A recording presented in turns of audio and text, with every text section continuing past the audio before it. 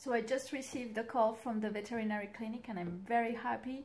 Uh, for the moment, all the tests on Topolino's heart are okay. Um, the, the only thing that they found that it's a little bit different is that his heart seems to be a little bit little for his uh, for his mass. Uh, he's quite a big guy, so yeah, they find that his heart is a, is a bit little for yeah so but this is not a this is not a problem and hopefully we will be able to do the, the rest of the surgery next week. I really hope so.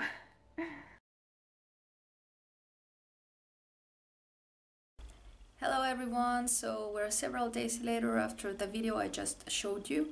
Um, I just got the results of his electrocardiogram and uh, finally he does have a problem with his heart. Uh, he is cardiac. And what uh, the doctor explained to me on the phone because I got her on the phone was that um, he does have a problem but it's not so so so uh, important. Um, he doesn't he, he's not he like you know when when some horses where when they have heart problems when you are working them uh, they can just stop all of a sudden and die uh, under you that's what happened with uh, Eric Lamaze and Hickstead. I don't know if, uh, if by any chance uh, you follow a little bit the show jumping uh, competitions, and that's what happened to him. if I'm right, I, I, maybe I'm wrong, but I, I, I think that is what I, I, I heard so yeah, the doctor told me that it was not so so so uh, critic as that. Uh, still, uh, the, what it's for sure is that we cannot operate again. And she told me that I shouldn't operate ever, ever again because uh, the anesthesia can really, really kill him. So we were very, very, very lucky.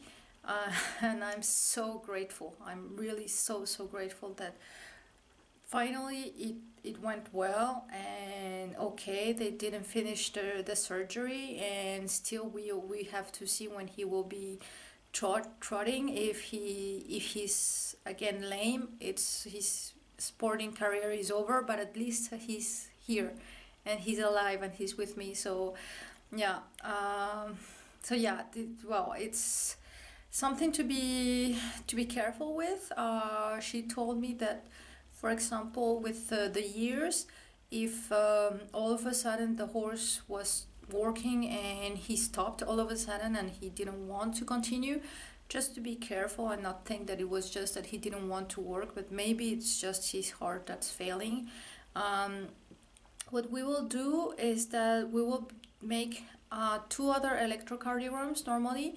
One just after he will be, when he will start walking, um, one month after he starts walking, I'm going to bring him back to the clinic. He will sleep over there and we will be able to see the uh, do another test for 24 hours and then uh, the second and last I hope so because it's pretty expensive electrocardiogram we're going to do is one on, on effort but this can do be done only when he will be able to to canter uh, because we have to bring his heart up to 110 beats per minute I think. That's what she told me. So he, he really needs to be cantering.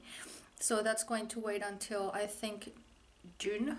Uh, it's when he will start con cantering I think so.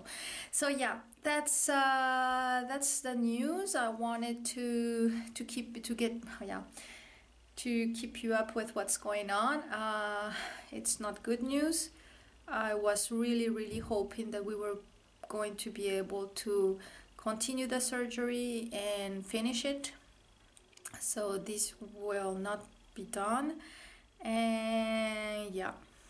I, I got yeah uh, something very interesting. They gave me this clinic. It's like they're very very nice. They gave me the pictures of uh, electro um, of Topolino's electrocardiogram and I'm going to link them. I'm going to put them just after this so that and, and it's really really clear. The, the the places where his heart is not working okay it's really really clear. And she she even put some arrows so that I could see it because yeah um, uh, yeah so that's what's going on.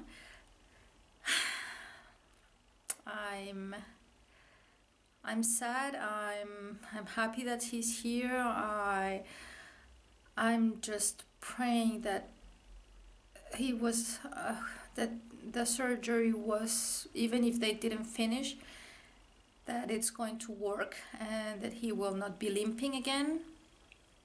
And yeah um anyways uh, i'll keep you posted. Bye